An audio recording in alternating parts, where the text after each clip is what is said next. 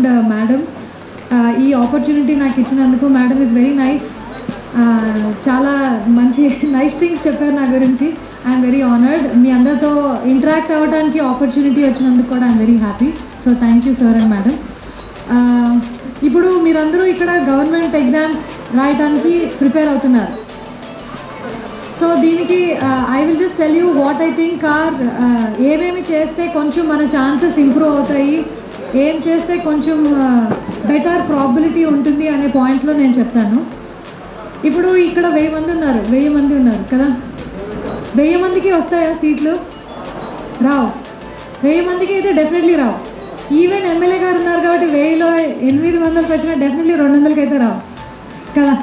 So దీనివల్ల మనకు తెలిసింది ఏంటంటే కోచింగ్కి వెళ్ళిన ప్రతి మనిషికి గ్యారంటీ కాదు. కోచింగ్ క్లాసు ట్యూషన్ ఏదైనా సరే ఓన్లీ మనకి డెబ్బై నుంచి ఎనభై శాతమే హెల్ప్ చేస్తుంది. మిగతా ఇరవై నుంచి ముప్పై శాతం మన ఇన్పుట్ కంపల్సరీగా ఉండాలి. సో మీరు ఇక్కడ రోజు మార్నింగ్ నుంచి ఈవినింగ్ వరకు కూర్చొని ఇక్కడ కూర్చున్నందుకే నాకు వచ్చేస్తుంది అనుకుంటే డెఫినెట్లీ అది తప్పు. మీరు ఇక్కడ కూర్చుని ఎన్ని గంటలు కూర్చున్నారో ఇంటికెళ్ళి మళ్ళీ అన్ని గంటలు పెట్టాలి మీరు.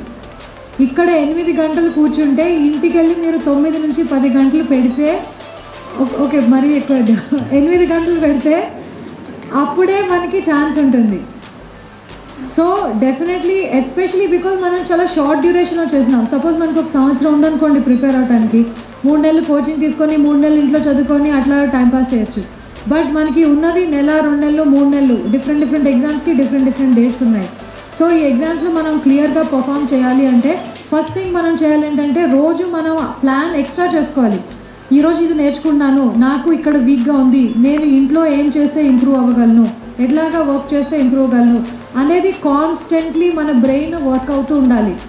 ఈ పాయింట్స్ మీద మీ ఫ్రెండ్స్తో డిస్కస్ చేసుకోవచ్చు మీ టీచర్తో అడగచ్చు మీ ఇన్స్ట్రక్టర్ని అడగచ్చు బట్ ఈ ఎక్స్ట్రా మన సైడ్ నుంచి ఇన్పుట్ లేకపోతే మటుకు it will not happen so అది నా first thing for you all that కంపల్సరీగా మన additional input every day every hour ప్రతి గంట ప్రతిరోజు ఉండాలి. సెకండ్ థింగ్ ఏంటంటే జనరలీ ఎనీథింగ్ ఇన్ లైఫ్ లైఫ్లో ఏదైనా సరే మనం ఎంత ఇస్తే అంతే బయటకు వస్తుంది. సో ఈ ఎనిమిది గంటలు ఇక్కడ కూర్చున్నన్ని గంటలు కూడా జస్ట్ కూర్చోవటమే కాకుండా డెఫినెట్లీ కంప్లీట్లీ ఇన్వాల్వ్ అవ్వాలి. డౌట్స్ ఉంటే నించొని అడగటానికి భయపడకుండా ఉండాలి. వాళ్ళు ఒకటి చెప్తే మీరు పది అక్కడ ప్రాక్టీస్ చేసుకొని ఇమీడియట్లీ ఫీడ్బ్యాక్ లూప్ ఉండాలి. మీరు ఎంత ఇంటర్ ఇంటరాక్టివ్గా ఉంటే అంత మీకు రివార్డ్ ఎక్కువ ఉంటుంది. మనం జస్ట్ కుర్చీలా కూర్చొని కూర్చొని ఫుల్ డే కూర్చొని ఇంటికి వెళ్ళిపోతే పెద్ద ఏం గెయిన్ అయ్యేది ఉండదు. టు బి ఆనెస్ట్ యాక్చువల్లీ మరి స్కూల్లో గుర్తుందా పీరియడ్స్ ఎంత ఉండేది class period forty five to fifty minutes generally brain మన brain is design so that నలభై ఐదు నుంచి యాభై నిమిషాలే ఒక ఇష్యూ మీద కాన్సన్ట్రేట్ చేయగలదు ఆ తర్వాత బ్రెయిన్ స్టార్ట్స్ వాండరింగ్. మీకు అవుతుంది నాకు అవుతుంది. క్లాస్లో మనం సగం విని సగం విని అందరూ అదే చేస్తూ ఉంటారు కదా. సో అది బట్ మనకి టైం షార్టేజ్ ఉంది కాబట్టి మన coaching would have been design so that రెండు గంటలు మూడు గంటలు కూర్చొని వినేటట్లు వాళ్ళు డిజైన్ చేసి ఉండొచ్చు. అంతే కదా మీ class duration two three hours ఉంటుంది. ఎందుకంటే సబ్జెక్ట్ ఎక్కువ ఉంది టైం తక్కువ ఉంది కాబట్టి. కానీ మీరు ఏం చేయాలి దీన్ని నేను కౌంటర్ చేయడానికి దీన్ని కౌంటర్ చేయడానికి ఒకటి ఏం చేయొచ్చు? డెఫినెట్లీ మీ మైండ్ వాండర్ అవుతుంది అనుకుంటే జస్ట్ నించోని వెళ్ళి అక్కడ రెండు నిమిషాలు నడిచొచ్చి మళ్ళీ కూర్చోండి. జస్ట్ బాడీకి బ్లడ్ సర్క్యులేషన్ ఓకే లేకపోతే మీ దగ్గర చాక్లెట్స్ ఏవో తెచ్చుకొని పెట్టుకోండి. Every fifteen minutes twenty minutes ఏదో తింటూ ఉండండి. ఎందుకంటే బ్రెయిన్కి ఒకటి అలర్ట్గా ఉండడానికి షుగర్ రెండోది బ్లడ్ సర్క్యులేషన్ నడుస్తుంటే బట్ ఏదో ఒకటి మీకు వర్క్ అయ్యేది చూసుకొని యూ ఇది కన్సిస్టెంట్గా చూడకపోతే మీ ఎఫిషియన్సీ మీ అబ్జార్ప్షన్ కెపాసిటీ మీరు నేర్చుకోగలిగేది కూడా తగ్గిపోతుంది. సో దీనికి కూడా మళ్ళీ ఏం కావాలి? మీ కంటిన్యూస్ ఇన్వాల్వ్మెంట్ ఉండాలి. ఎందుకంటే మిమ్మల్ని వీళ్ళు మానిటర్ చేయలేరు. ఇరవై మంది ముప్పై మంది ఉంటే పాపం టీచర్ చేయగలరు. వెయ్యి మందిని ఆయన చేస్తారు. ప్రతి వాళ్ళు వాళ్ళ ఓన్ మానిటర్ సో ఇంట్లో ఏం చేయాలి అనేది మనం మానిటర్ చేసుకోవాలి. క్లాస్లో నేను కూర్చున్నంతసేపు నేను నిజంగా ఫుల్లీ అటెన్షన్ పే చేస్తున్నానా? పే చేయకపోతే నేను ఏం చేస్తే పే చేయగలను? డిఫరెంట్ పీపుల్కి డిఫరెంట్ నీడ్స్ ఉంటాయి. దెర్ ఇస్ నో ఒక సొల్యూషన్ ఏముండదు. అంటే మన body design life style various parameters బట్టి కొన్ని వాటికి మోర్ రెస్పాన్సివ్గా ఉంటాం కొన్ని వాటికి లెస్ రెస్పాన్సివ్గా ఉంటాం. ఏదైనా సరే మీరు డిసైడ్ చేసుకోవాలి. థర్డ్ థింగ్ ఏంటంటే కంపల్సరీగా ప్రతి వాళ్ళు రోజుకి అట్లీస్ట్ అరగంట ఎక్సర్సైజ్ చేయాలి. ఇప్పుడు మీరు చాలామంది పోలీస్ వాటికి కూడా ఉన్నారు. పోలీస్ ఎగ్జామ్స్ కూడా రాస్తున్నారు. అందులో ఫిజికల్ ఫిట్నెస్ కంపల్సరీ. ఆ ఎగ్జామ్స్కి అయితే గంట సేపు గంటన్నర సేపు ఎక్సర్సైజ్ మ్యాండేటరీ. ఈవెన్ నేను ఫిజికల్ పోలీస్ వాటికి చేయట్లేదు అనుకున్నా సరే ఎనీ ఎగ్జామ్ ఎనీ దానికి రోజుకి అరగంట ఏదో ఒక ఎక్సర్సైజ్. యోగా చేస్తారా రన్నింగ్ చేస్తారా జిమ్కి వెళ్తారా లేకపోతే మీ కూర్చొని ఏం చేస్తారో మీ ఇష్టం. It doesn't matter only thing ఏంటంటే హార్ట్ బీట్ ఇంక్రీజ్ అవ్వాలి బ్లడ్ బ్రెయిన్కి వెళ్ళాలి. అప్పుడే మీ ఎబిలిటీ టు కాన్సన్ట్రేట్ కాన్సన్ట్రేట్ చేయగలిగే కెపాసిటీ టెన్షన్ లేకుండా ఉండే కెపాసిటీ పెరుగుతాయి. మీరు చూసుకోండి ఈరోజు ఒక ఎక్స్పెరిమెంట్ చేయండి లాస్ట్ వన్ వీక్ టెన్ డేస్లో ఎక్సర్సైజ్ చేసిన వాళ్ళు ఎంతమంది ఉన్నారు చేతులు ఎత్తండి? ఓకే గ్రేట్ సో మిగతా వాళ్ళకి నేను చెప్తాను చేయని వాళ్ళకి ఇప్పటి వరకు మీ పర్ఫార్మెన్స్ తెలుసు. నా సజెషన్ ఏంటంటే ఈ రేపటి నుంచి వన్ వీక్ చేయండి. And you will see the డిఫరెన్స్కి రోజు వన్ వీక్ చేసిన వాళ్ళకి నా ability to sit and concentrate ఇది ఐడియా ఎక్సర్సైజ్ ఏంటంటే బ్లడ్కి బ్రెయిన్ బ్రెయిన్కి బ్లడ్ వెళ్ళాలి హార్ట్ రేట్ ఇంక్రీజ్ అవ్వాలి సో మీరు మెడిటేషన్ చేయొచ్చు బ్రీదింగ్ చేయొచ్చు యోగా చేయొచ్చు running gymming whatever but this is mandatory so this is the fourth point I'm telling you non negotiable then ఇంకొక పాయింట్ విచ్ నాకు రిపీటెడ్లీ స్టూడెంట్స్ ఆస్క్ ఏంటంటే నాకు టెన్షన్ వస్తుంది ఎగ్జామ్ అప్పుడు ఎట్లాగా నేను చేయాలి? జనరీ ఉంటుంది. అందరికీ ఉంటుంది టెన్షన్ ఎవ్రీబడి హ్యాస్ టెన్షన్ రోజు టెన్షన్కి డీల్ చేయడానికి నేను చెప్పినట్లు ఫోకస్డ్గా ఎక్సర్సైజ్ చేసి పని మీద ఉంటే రోజు ఏముండదు? ఇప్పుడు ఉండదు. ఓన్లీ టెన్షన్ మనకి ఎగ్జామ్ రోజే ఉంటుంది. అంతే కదా? సో ఒకటి ఏంటంటే మనం ఎగ్జామ్ రోజు కూర్చున్నప్పుడు ఫస్ట్ థింగ్ పేపర్ అదే ఆన్సర్ షీట్ ఇచ్చి ఓఎంఆర్ షీట్లో మన నేమ్ రాసుకోవటం అదంతా బిజినెస్ అయిపోతుంది. ఆ తర్వాత కూర్చొని మీ పెన్ కింద పెట్టి ఒక రెండు నిమిషాలు మూడు నిమిషాలు కళ్ళు మూసుకొని మీరు గాడ్లో బిలీవ్ చేస్తే ప్రే చేయండి. గాడ్లో బిలీవ్ చేయకపోతే మెడిటేట్ చేసుకోండి. లేకపోతే బ్రీత్ డీప్ ఇన్ బ్రీత్గా డీప్గా ఇన్సైడ్ బ్రీత్ డీప్గా outside breath. Okay two minutes. ఇదే కాదు మీరు డ్యూరింగ్ ద టెస్ట్ కూడా any time you feel tension పెరుగుతుంది. జర్నీ ఏమవుతుంది? Last twenty five minutes. సడన్గా మీరు వాచ్ చూసుకుంటారు. అరే ట్వంటీ మినిట్సే ఉంది. ఇంకా ఫుల్ హార్ట్ రేట్ పెరిగిపోతుంది. అప్పుడు ఫస్ట్ థింగ్ ఏం చేయాలంటే పెన్ కింద పెట్టి do some deep breathing or praying for one two minutes calm down and then only continue ఎందుకంటే మీరు అనుకోవచ్చు నాకు టైం లేదు నేను మళ్ళీ టూ మినిట్స్ కూర్చొని ఇదొక టైం పాస్ నాకు అసలే టైం లేదు అంటే ఈ టూ మినిట్స్ వల్ల యూ విల్ బెనిఫిట్ మోర్ మీ ఛాన్సెస్ ఆఫ్ మిస్టేక్స్ చేయటం తగ్గుతాయి. మీరు మోర్ ఫోకస్డ్గా ఉంటారు. మీరు మోర్ అచీవ్ చేయగలరు. సో ఇది కూడా ఓన్లీ ప్రాక్టీస్తోనే వస్తుంది. ఏమీ లేకుండా ఆ రోజుల్లో బ్రీదింగ్ బ్రీద్ అవుట్ చేస్తే అవ్వదు. బాడీ రెస్పాండ్ అవ్వదు. రోజు చేసుకోవాలి. సో అందుకనే మీరు రోజు ప్రాక్టీస్ టెస్ట్ చేసేటప్పుడు రోజు ప్రాక్టీస్ టెస్ట్ చేస్తారు కదా స్టార్ట్ చేసే ముందు ఒక రెండు నిమిషాలు ఇది చేసి ప్రాక్టీస్ టెస్ట్ స్టార్ట్ చేయండి. సో దట్ యువర్ బాడీ లర్న్స్కి ఈ సిగ్నల్తో నేను కామ్ అవ్వాలి అనేది you have to train your body so దీనికి యూ మే బి థింకింగ్ ఇది ఎందుకు అంటే యాక్చువల్లీ ఎగ్జామ్ రాయటం అయినా రేస్ రన్ చేయటం అన్నా లేకపోతే ఒక స్పోర్ట్లో విన్ అవటం అన్నా లేకపోతే ఎమ్మెల్యే గారు చెప్తారు ఎలక్షన్లో విన్ అవటం అన్నా అన్నిటికీ మల్టిపుల్ ఫ్యాక్టర్స్ అన్నీ వస్తేనే సక్సెస్ ఉంటుంది. ఉత్తి చదివితే కూడా వస్తుందని లేదు. చాలామంది మనకు తెలిసిన వాళ్ళు ఉంటారు. చాలా బ్రెయినీ వాళ్ళు ఉంటారు. చాలా నాలెడ్జ్ ఉంటుంది. బట్ వాళ్ళు సక్సీడ్ అవ్వం సమ్టైమ్స్ మనం సక్సీడ్ అవుతాం. ఇప్పుడు నాకు ఐఏఎస్ వచ్చిందంటే ఇట్ డజంట్ మీన్ నాకు అందరికన్నా ఎక్కువ తెలిసిన లేదు. లేకపోతే నేను చదువుకున్న వాళ్ళందరికన్నా నేను చాలా తెలివి కల్లా అని కూడా లేదు. Only thing it means that నేను ఆ రోజు ఎగ్జామ్ కోసం కూర్చున్నప్పుడు మిగతా వాళ్ళకల్లా నేను ఎక్కువ చూపించగలిగాను. అంతే that's all it means so దానికి ఏంటి అర్థం? మనము మన బ్రెయిన్ని బాడీని ఫిజికల్గా మెంటల్గా అన్నీ you have to train so that ఆ త్రీ అవర్స్ టూ అవర్స్లో మీ బెస్ట్ పర్ఫార్మెన్స్ కనిపించేటట్లు. మీరు రోజు బ్రెయిన్గా ఉండి ఆ రోజు ఫెయిల్ అయిన సరే పెద్ద ఏం గెయిన్ అయ్యేది లేదు. So going back to whatever saying tension ఉంటే you have to train your body to breathe in breathe out pray whatever మీకు ఏది వర్కౌట్ అయితే అది. నెక్స్ట్ థింగ్ ఏంటంటే మనకి ఆబ్జెక్టివ్ టైప్ టెస్ట్ ఉంటాయి కాబట్టి ఒకవేళ సపోజ్ మీ టెస్ట్ ఎన్ని ఎన్ని నిమిషాలు నాకు తెలియదు సపోజ్ మూడు గంటల టెస్ట్ ఉంది. అంటే వన్ ఎయిటీ మినిట్స్ ఉన్నాయి. మనకి వన్ ఎయిటీ క్వశ్చన్స్ ఉన్నాయి.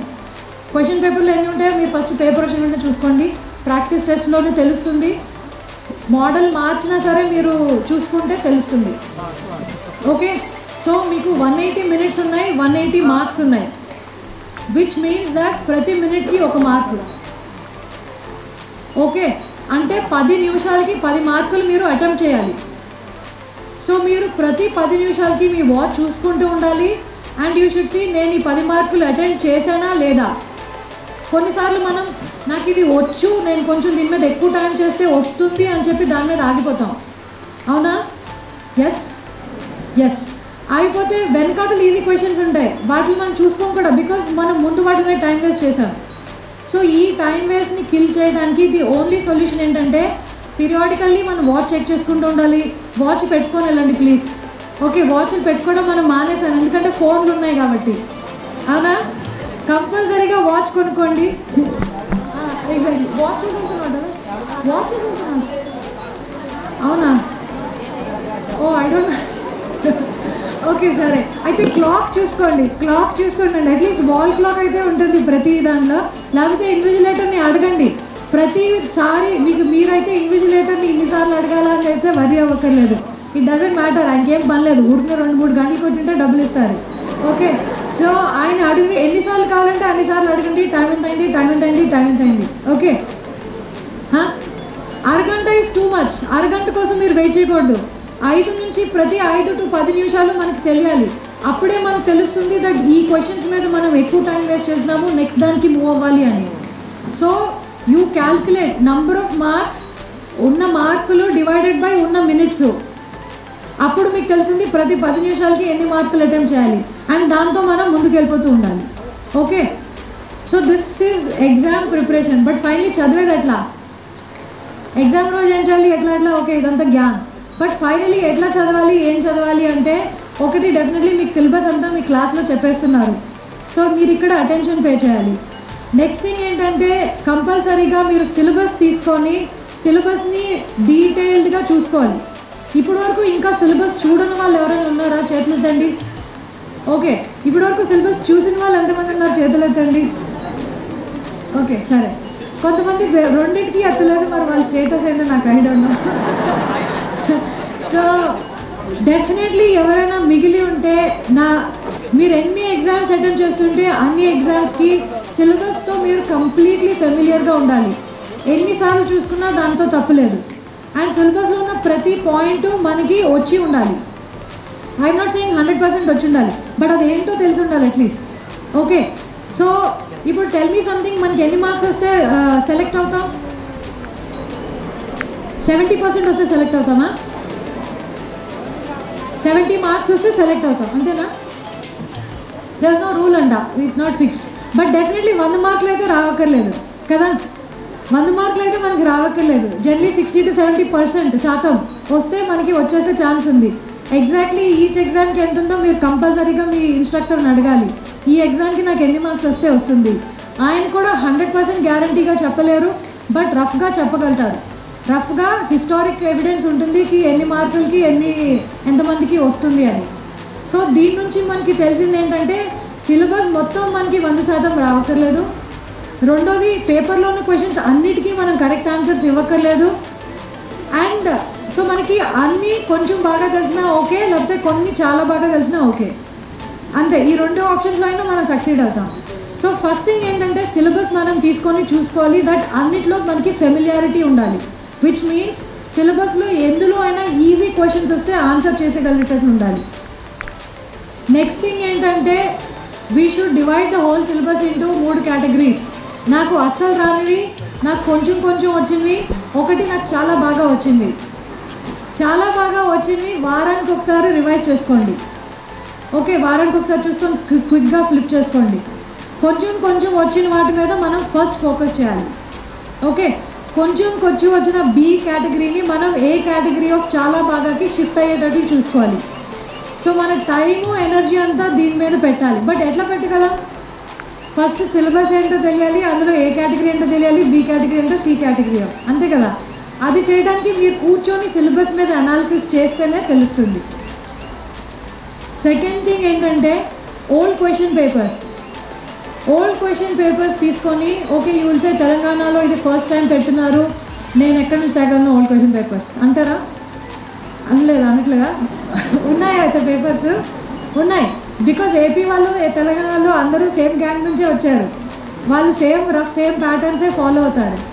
ఎనీ ఎగ్జామ్ ఏ ఎగ్జామ్ తీసుకున్నా ఇరవై టు ముప్పై శాతం మార్క్ పేపర్ రిపీట్ అవుతుంది. ఓన్లీ మనకి స్కూల్లో అయితే సేమ్ క్వశ్చన్స్ కూడా ఇచ్చేస్తారు. ఎందుకంటే మన స్కూల్లో ఆ నాలెడ్జ్ కూడా ఉండదు. పోయినసారి పేపర్లు ఎట్లా ఉంది అడిగేటానికి స్కూల్లో అయితే క్వశ్చన్లు రిపీట్ అవుతాయి. పబ్లిక్ ఎగ్జామ్లో అయితే కొంచెం మార్చి ఇస్తారు. ఇలాంటి వాటిలో మేబీ నంబర్స్ మార్చుతారేమో లేకపోతే స్టైల్ మార్చుతారేమో. బట్ డెఫినెట్లీ ఈ టాపిక్ మీద ప్రతిసారి ఈ అంటే like I don't know me syllabus but I'm just saying suppose tie you know three people can dig a hole in three minutes how long will it take two people to dig four holes అలాంటి questions ఉంటాయి కదా. Maybe అలాంటి every time ఇస్తున్నారేమో. I don't know so what you to do is take the question papers and analyse me question మీ teacher కూడా already analysis చేసే మీకు కొంచెం guidance ఇస్తూ ఉంటారు. బట్ దానికన్నా ఎక్కువ థింక్ మీరు పెట్టుకోవాలి. మీరు కూర్చొని ఈ క్వశ్చన్ పేపర్స్ మీద చూసి అనాలిసిస్ చేసుకోగలిగితేనే కొంచెం సక్సెస్ అయ్యే ఛాన్స్ ఉంటుంది. సో కంపల్సరీగా మనం ప్రిపేర్ అయ్యే దాంట్లో ఫస్ట్ సిలబస్ చెక్ చేసుకుంటాం. సెకండ్ ఓల్డ్ పేపర్స్ వెరిఫై చేసుకుంటాం. థర్డ్ ఈజ్ రివిజన్ మనం ఎన్నిసార్లు రివిజన్ చేసుకుంటే అన్నిసార్లు మనకి యాక్చువల్లీ గుర్తుంటుంది. ఫస్ట్ టైం చదివితే గుర్తుండే వాళ్ళు ఎంతమంది ఉంది? ఒకసారి చూసి అట్లా. ఎవరికి ఎవరికీ లేదు. రెండు సార్లు? ఓకే. మూడు సార్లు? నాలుగు సార్లు? ఐదు? మీకు ఎన్నిసార్లు కావాలి చెప్పండి? నాట్ రెస్పాండింగ్ సో మోస్ట్లీ మనకి అట్లీస్ట్ నాలుగైదు సార్లు చదివితే కానీ we will not be able to remember అంతే కదా ఫస్ట్ టైం నో ఛాన్స్ మనకు గుర్తుంటుంది. సో అది వెదర్ యూ చదివేవి చదవాలి ప్రాక్టీస్ చేసే ప్రాక్టీస్ చేయాలి బట్ ప్రతి టాపిక్ మీద మనం ఫోర్ టు ఫైవ్ టైమ్స్ రిపీటెడ్గా చేయాలి. దట్ మీన్స్ ఈ రోజు నేర్చుకున్నవి రేపు ఒక గంట కూర్చొని రివైజ్ చేసుకోండి. ఈ వారం నేర్చుకున్నవి ప్రతి సండే మూడు గంటలు కూర్చొని రివైజ్ చేసుకోండి. ప్ర దట్ ఇన్ ఇది చేసుకుంటే చాలు. సో ఎవ్రీడే మీకు క్యూములేటివ్గా యాడ్ అవుతుంది. ఎంత మార్జినల్గా అట్లా డెల్టా డెల్టా డెల్టా యాడ్ అయ్యే చెక్ అవుతుంది. అంతే కదా? So this is the only way you can remember ఒకసారి చదివి కోచింగ్ క్లాస్ చేసి నాకు ఇది వచ్చేసే అంటే నో ఛాన్స్ ప్లస్ సెకండ్లీ మీరు largely mental ability and maths most పేపర్స్లో ఉంది కాబట్టి ఇది ఓన్లీ ప్రాక్టీస్తో వస్తుంది. సో మీ రివిజన్ ఈజ్ ఓన్లీ చదవటం కాదు చేయటం. మనకి ఎగ్జామ్లో ఏం టెస్ట్ చేస్తున్నారు? మళ్ళీ అడుగుతున్నాను సేమ్ క్వశ్చన్ ఎగ్జామ్లో ఏం టెస్ట్ చేస్తున్నారు? నాలెడ్జా పర్ఫార్మెన్స్ అండ్ ఎబిలిటీ నాలెడ్జ్కి వెరీ స్మాల్ కాంపోనెంట్ మీ జీకే కాంపోనెంట్ ఎంత ఉంది? GK component generally thirty percent ఉందేమో మీ పేపర్స్లో నాకు తెలీదు బట్ థర్టీ టు ఫిఫ్టీ పర్సెంటే ఉంటుంది వెయిటేజ్ అంతే కదా? రెండు పేపర్లు ఉంటే ఒక పేపర్ ఉంటే యాభై శాతం మూడు పేపర్లు ఉంటే ముప్పై శాతం అని నేను అనుకున్నా సో జనరల్ నాలెడ్జ్ కాంపోనెంట్ ముప్పై టు యాభై శాతం ఉంది. మిగతాదంతా ఎబిలిటీ అంటే ఇట్ కెన్ బి మీ ఇంగ్లీషు మ్యాథ్స్ మెంటల్ ఎబిలిటీ ఇంతే. This is what they testing ఇది ఓన్లీ ప్రాక్టీస్తోనే వస్తుంది. మీరు ఎన్నిసార్లు చదివినా మీకు గుర్తుండదు. అది గ్యారంటీ థౌజండ్ టైమ్స్ చదవండి మీకు గుర్తుండదు. మీరు చేయలేరు. ఓన్లీ పెన్ను పేపర్ కూర్చొని పెట్టుకొని చేయటం స్టార్ట్ చేస్తేనే you will be able to succeed so again I'm telling you ఎగ్జామ్లో టెస్ట్ చేసేది మీ బ్రెయిన్లో ఉన్న నాలెడ్జ్ కాదు. మీరు ఒక వంద క్వశ్చన్లు ఇస్తే అందులో ఎట్లా పర్ఫామ్ చేయగలరు అనేదే test PhD is a test of knowledge నేను దీని మీద ఎంత నాలెడ్జ్ చేయగలితే నాకు అందులో పిహెచ్డి వస్తుంది. బట్ టెస్ట్ అంత లేదు. ఓన్లీ మీకు ఈ ఇన్ని క్వశ్చన్లు ఇది యావరేజ్ లెవెల్లో ఉంటే యావరేజ్ కన్నా అబౌవ్ పర్ఫామ్ చేయగలరా బిలో పర్ఫామ్ చేయగలరా? అబౌవ్ పర్ఫామ్ చేస్తే జాబు బిలో పర్ఫామ్ చేస్తే బాయ్ బాయ్ అంతే. So so all you have to do is be very very clear on the goal goal చాలా క్లియర్గా ఉండాలి. నాకు ఈ పేపర్ ఇస్తే నేను చేయగలనా లేదా? చేయడానికి ఏంటి ప్రతిరోజు నేను ఇంట్లో ప్రాక్టీస్ చేసుకోవాలి. మీరు ఇక్కడ మార్నింగ్ నైన్ నుంచి నైట్ నైన్ ఉన్నా సరే ఎర్లీ మార్నింగ్ సిక్స్కి లేచి సిక్స్ టు ఎయిట్ ఒక ప్రాక్టీస్ టెస్ట్ చేసే ఇక్కడికి రావాలి. ఈ రోజు నుంచి మీకు ఎగ్జామ్ ఇంకొక ఫిఫ్టీన్ ట్వంటీ డేస్లో ఉందనుకుంటా? అంతేనా? ఈ ఫిఫ్టీన్ ట్వంటీ డేస్ కంపల్సరీగా మీరు ఒక ఇరవై టు ముప్పై ప్రాక్టీస్ టెస్టులు రాయకపోతే మీ performance chances of selection zero ఒక టెస్ట్ రెండు టెస్టులు రాసిన వాళ్ళకి నో ఛాన్స్ మీకు వస్తుంది అని. పదిహేను టు ఇరవై ప్రాక్టీస్ టెస్టులు కంపల్సరీగా రాయాలి. ఇక్కడ కోచింగ్లో పెట్టిన టెస్టులు కాకుండా. ఎందుకు? ఎందుకంటే కోచింగ్లో టెస్టులు అందరూ రాస్తున్నారు. వాళ్ళకన్నా మనం బెటర్ పర్ఫామ్ చేయాలనుకున్నాం కదా. అంతే కదా? అందరికీ రానప్పుడు మనం వాళ్ళకన్నా కొంచెం ఎక్కువ చేసుకోవాలి. ఆ ఎక్కువ ఏం చేసుకోవాలి? ఇంట్లో కూర్చొని ప్రాక్టీస్ టెస్టులు రాసుకోవాలి. ఆన్సర్ కీ ఉంటుంది. మీరే కరెక్ట్ చేసుకోండి. అప్పుడు మీకు తెలుస్తాయి నాకు ఎందులో ఏ నాది ఏది బి ఏది సి. ఏ టాపిక్స్ ఎక్కువ వస్తున్నాయి ఏ టాపిక్స్ తక్కువ వస్తున్నాయి. నేను ఈరోజు టీచర్ని వెళ్ళి ఏం డౌట్స్ అడగాలి? ఇవన్నీ మన క్లారిటీ వస్తుంది. ప్రాక్టీస్ టెస్ట్ పేపర్స్ ఉన్నాయా అందరి దగ్గర? ఎస్ ఉన్నాయి. అందరి దగ్గర ఉన్నాయి. లేని వాళ్ళు కొనుక్కోండి వెళ్ళి ఈరోజు. ఓకే బట్ కంపల్సరీగా ఎగ్జామ్ లోపల మీరు ఫిఫ్టీన్ టు ట్వంటీ పేపర్స్ కంపల్సరీగా రాయాలి. ఓకే సో నా దగ్గర రఫ్లీ ఇవి చేస్తే నేనైతే I will guarantee with job okay job guarantee so I will again repeat what I'm telling you ఒకటి కంపల్సరీగా ప్రాక్టీస్ టెస్ట్ రాసుకోవాలి. రెండోది రివిజన్ ఇస్ వెరీ ఇంపార్టెంట్ మూడోది సిలబస్ మనం డి డివైడ్ చేసి కాంకర్ చేసుకోవాలి. మనకి యావరేజ్గా వచ్చింది పర్ఫెక్ట్గా రావాలి. ఆ తర్వాత బ్యాడ్గా వచ్చింది యావరేజ్ తెచ్చుకుంటాం. బట్ ఈజీ క్వశ్చన్ ఏ టాపిక్లో ఇచ్చినా మనం ఆన్సర్ చేయగలిగేటట్లు మనం ట్రైన్డ్గా ఉండాలి. Okay exam is a test of exam only ఎగ్జామ్లో టెస్ట్ చేసేది ఓన్లీ మీరు ఎగ్జామ్ ఎట్లా రాయగలరు. సో దానికోసం ఒక స్పెషల్ స్కిల్ సెట్ కావాలి. దానికోసం బ్రెయిన్ పర్ఫార్మెన్స్ బాడీ పర్ఫార్మెన్స్ రెండు పర్ఫామ్ చేస్తేనే మనం సక్సీడ్ అవ్వగలం. దానికోసం మనం మొత్తం ఫుల్ ట్రైన్డ్గా ప్రాక్టీస్గా ఉంటే కంపల్సరీ ఎక్సర్సైజ్ స్ట్రెస్తో డీల్ చేయడానికి టెక్నిక్స్ ప్లస్ ఆ two three hours concentration divert అవ్వకుండా చేయగలటానికి ప్రాక్టీస్ టెస్ట్ ఇవన్నీ చేసుకోగలిగితే I'm sure you'll all be very successful